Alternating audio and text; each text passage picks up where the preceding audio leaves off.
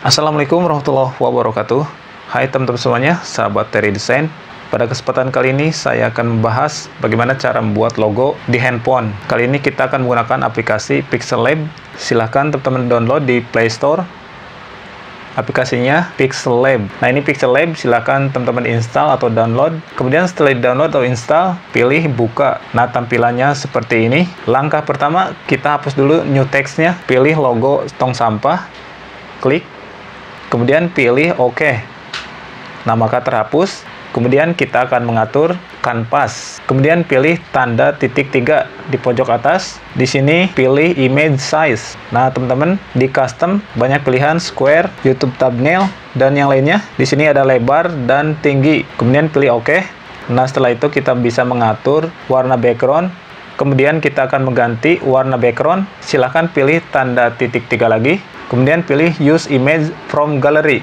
Nah, ini untuk background dari galeri. Kemudian dari bawaan Pixel Lab, silahkan pilih tanda plus double di bawah. Nah, di sini ada color. Ini bisa pakai warna.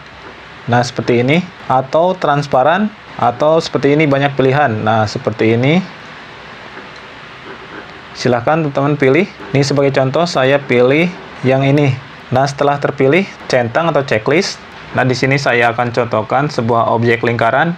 Pilih tanda plus, pilih di sini ada teks, ada stiker, ada shapes, ada from gallery. Saya pilih shapes. Dan di sini bentuknya persegi. Teman-teman silakan pilih bentuk yang lain. Pilih tanda persegi di bawah. Nah, di sini banyak ada persegi, lingkaran, setengah lingkaran, ada bintang dan yang lainnya. Ini saya contohkan lingkaran saja. Kemudian seret ke atas, scroll, ini opacity, kita coba Nah, seperti ini opacity-nya. Ini fill color, warna. Ini kalau diklik jadi berubah warnanya. Kemudian di sini stroke width. Ini kalau diseret seperti ini. Kemudian setelah selesai pilih centang atau checklist. Nah, berhasil. Kemudian kita membuat lingkaran baru.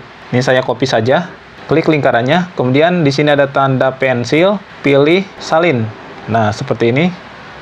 Kemudian diatur ukurannya bisa di layar atau pilih tanda segi 6 di sini cari size. Kemudian teman-teman pilih relative size. Nih dipilih seperti ini sesuai kebutuhan. Kemudian pilih checklist. Nah ini lingkaran yang kedua tidak berada di center atau di tengah-tengah lingkaran pertama. Untuk mengaturnya silahkan pilih lingkaran kecil tadi atau lingkaran yang kedua tadi. Kemudian pilih relative position Kemudian pilih tanda yang di tengah dua-duanya. Yang pertama, yang kedua. Nah, lingkaran yang kedua berada di tengah-tengah atau center checklist. Nah, setelah selesai, pilih lagi tanda plus. Saya pilih shapes. Ini saya ubah di ukurannya. Nah, seperti ini. Setelah selesai, pilih centang. Kemudian pilih tanda ketupat. Kemudian pilih di pojok kanan bawah ada tanda centang dan X kemudian centang semuanya pilih merge. Kemudian pilih OK.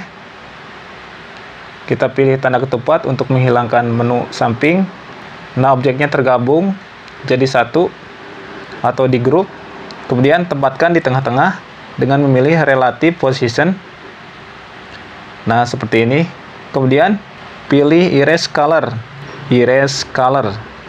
Kemudian pilih enable. Nah maka warna putihnya hilang.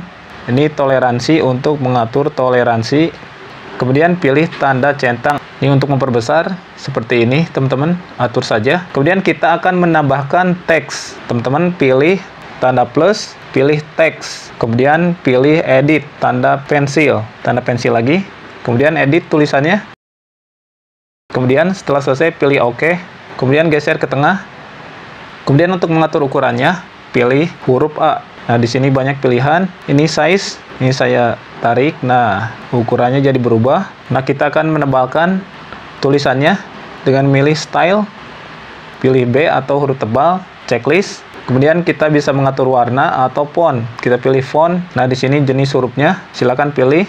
Kemudian kita gabungkan antara lingkaran sama tulisannya. Pilih tanda ketupat, pilih tanda centang X di bawah pojok centang keduanya pilih tanda match kemudian oke okay. ini saya hilangkan lagi Nah, tergabung antara lingkaran dan teks. Kemudian saya akan mengubah warnanya jadi warna emas. Pilih teks, kemudian pilih segi 6. Saya pilih tekstur. Tekstur dari galeri saya pilih.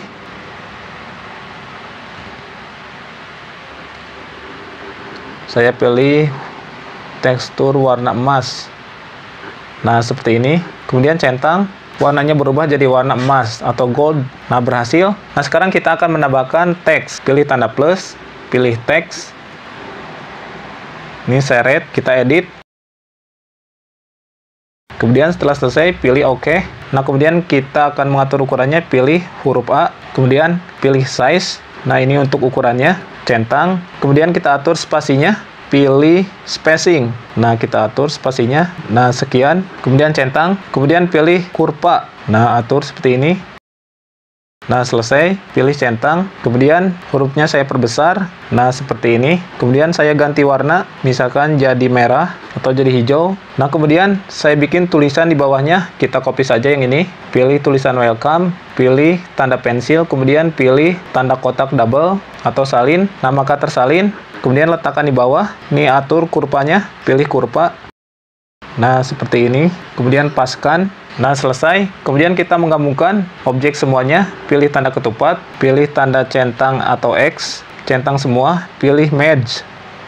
Oke, nah jadinya seperti ini teman-teman. Nah, setelah selesai, pilih tanda simpan yang ini. Kemudian save as project atau save as image. Bebas teman-teman, saya pilih save as image saja. Nah, di sini ada image format, ada JPEG, ada PNG. Silakan pilih bebas teman-teman. Saya pilih PNG aja. Ini quality pilih dari default sampai ultra ini very high dan ultra makin bagus kualitasnya silahkan pilih saya pilih ultra kemudian save to gallery pilih kemudian kita lihat atau cek di galeri Nah, berhasil teman-teman tersimpan di galeri logonya. Nah, demikianlah cara membuat logo di Pixel Lab. Mudah-mudahan bermanfaat. Jika ada pertanyaan, mohon tulis di kolom komentar. Mohon maaf jika banyak kekurangan dalam penyampaian. Terima kasih.